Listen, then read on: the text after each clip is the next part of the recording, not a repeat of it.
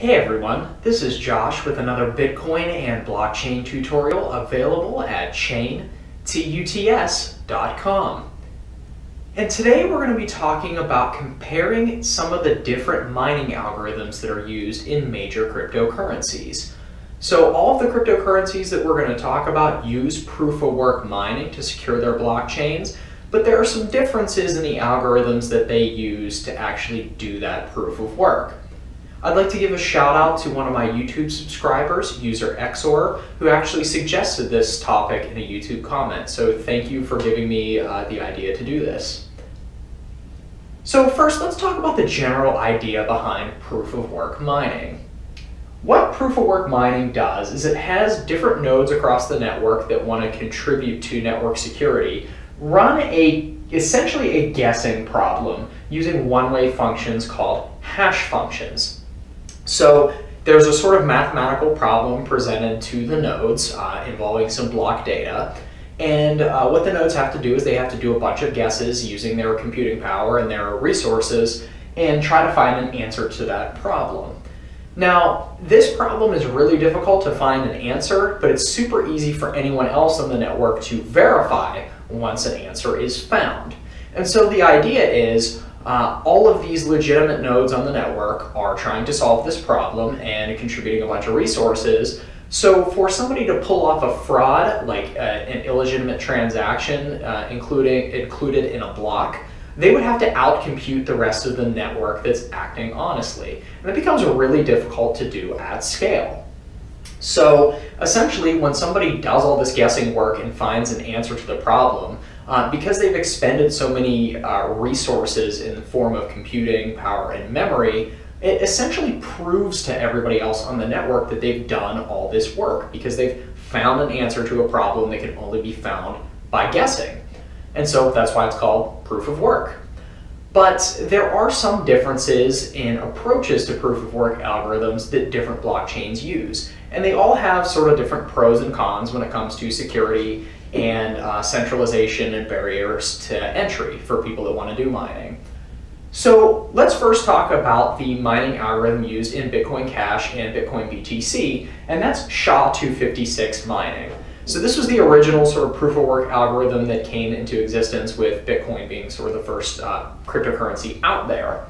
So this is a pretty straightforward algorithm. The way this works is there is block header data and miners add a nonce, which is the name for their random guess for the problem, to that block data. They run that through uh, the SHA-256 algorithm and output a block hash. And in order for this answer to the proof of work problem to be valid, the block hash treated as a 256-bit number has to be less than the difficulty target that's specified by the Bitcoin network. And so uh, it turns out, you know, as this difficulty target gets smaller as a number, it takes more and more computing power and guesses to find an answer to the proof of work problem. So this is only a computationally hard algorithm. SHA-256 doesn't really require a ton of memory to do, and it's really just limited by the amount of computing operations that can be done uh, in the SHA algorithm. And so what this leads to is over time as the difficulty target has gotten a lot harder as it's adjusted by the Bitcoin software, uh, it leads to a sort of um, centralization or a higher barrier to entry for people that want to do mining. Because in the very early days of Bitcoin, you could just mine using a computer CPU. The difficulty wasn't that high, and so you know everybody who was on the network was just running this on their PCs. And uh, eventually, as this got harder, uh, people started using graphic units, so GPUs. And now the only way to even remotely profitably mine on the Bitcoin network is to use what's called an ASIC, or Application Specific Integrated Circuit. These are specialized pieces of hardware that are really expensive, and they're designed to really do one thing and one thing only, and that's SHA hashes. So there's now a much higher barrier to entry for people that want to contribute to the Bitcoin network security. You really can only do it if you have like a warehouse full of these ASIC, uh, you know, ASIC computers, and you also generally need to be involved in a mining pool. So you have to be a part of a whole group of people that are trying to solve blocks and split up the reward. Even if you went out and bought an ASIC miner to run in your basement, the chances of you finding a block hash uh, without being a part of a pool are pretty negligible. It's, it's really not going to happen.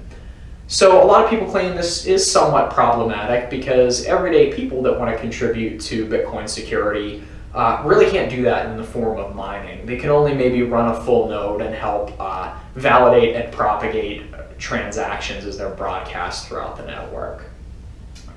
So one of the first major alternatives to Bitcoin that came out was Litecoin. And Litecoin decided it wanted to try and address this problem of high barrier uh, uh, to entry for mining. And so what they did is they introduced the use of a uh, harder, a memory hard mining algorithm that uses the scrypt hashing algorithm. Now, scrypt is actually not a pure hash function, it's really a key derivation function.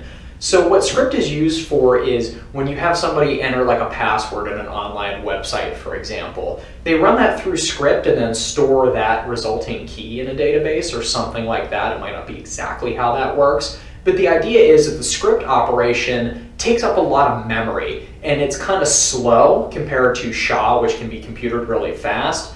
So if you were trying, if you got a database full of password hashes that were done with scrypt, It would take you a long, long time to try and, you know, brute force that password database compared to using a SHA uh, algorithm. So that's kind of where that came from. But Litecoin's creators use that to their advantage in trying to solve the centralization of mining and high barrier to entry. Because again, this is a memory hard problem. So scrypt is designed to take up a lot of memory and have to do a lot of read and writes from memory. And so what that means is it's more limited by the amount of memory in the system that's doing the mining and the input and output operations to that memory than it is the computing operations. And so again, that means that it's not necessarily going to require an ASIC to do Litecoin mining.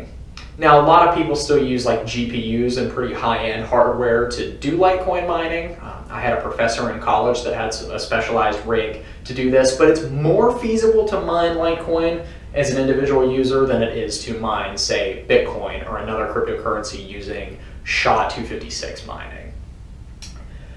Now, the third approach, which I think is pretty interesting, is similar to Litecoin, but goes a lot further into sort of a custom memory hard implementation. And this is what Ethereum uses. Ethereum uh, created its own custom uh, proof of work algorithm called Ethash. Uh, and this is a custom version of a sort of algorithm called Dagger Hashimoto. And uh, this was developed by uh, Thaddeus Dryja, who uh, was involved, I believe, in uh, proposing the Litecoin, or no, sorry, not Litecoin, the Lightning Network on Bitcoin, and of course Vitalik Buterin, uh, one of the founders and authors of the Ethereum paper and implementation. And so what this does is every so many blocks that Ethereum is processing, uh, Ethash generates a really large data set that is based on data that's included in that sort of n blocks that it's taking a look at. And so this is always changing and has to be recomputed by mining nodes. And there's a lot of input-output operations that have to be done on this data set to do the mining. So again, much like scrypt on Litecoin, this is a mining algorithm that is more limited by memory uh, I.O. operations than it necessarily is computing power. And that's by design. But part of the thing that makes Ethash interesting is that uh, Vitalik specifically designed a part of this system so that the mining itself is very memory intensive, but uh, for end users running full nodes to validate the result of that problem is a lot less memory intensive. So I thought that was sort of interesting in the approach that Ethereum takes.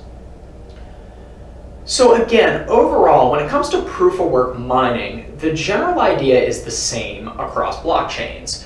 The idea is you have a problem that involves a lot of computing and memory resources to solve through guessing. And so by putting some skin in the game, by putting resources into the game, all the people mining are helping secure the network against fraud. Because somebody that wants to try, try and propagate an invalid transaction on the blockchain or fake history would have to do a lot of out computing uh, compared to everybody on the network that's acting honestly. And since transactions are linked to the previous uh, blocks, uh, this also gets harder and harder to do as you go back in history, which is why people say things like, if you have a really big transaction, wait six blocks before you consider it to be totally irreversible, that sort of thing. But there are pros and cons to each of these different approaches to mining. And so different cryptocurrencies have changed the way that they do mining from sort of the original Bitcoin implementation to address what they see as problems with barrier entry for mining and centralization and that sort of thing. So as always, I hope you found this tutorial interesting and informative. Uh, please subscribe to the channel and consider uh, supporting my work through Patreon or Spreadshirt or cryptocurrency donations. And as always, thank you very much for listening.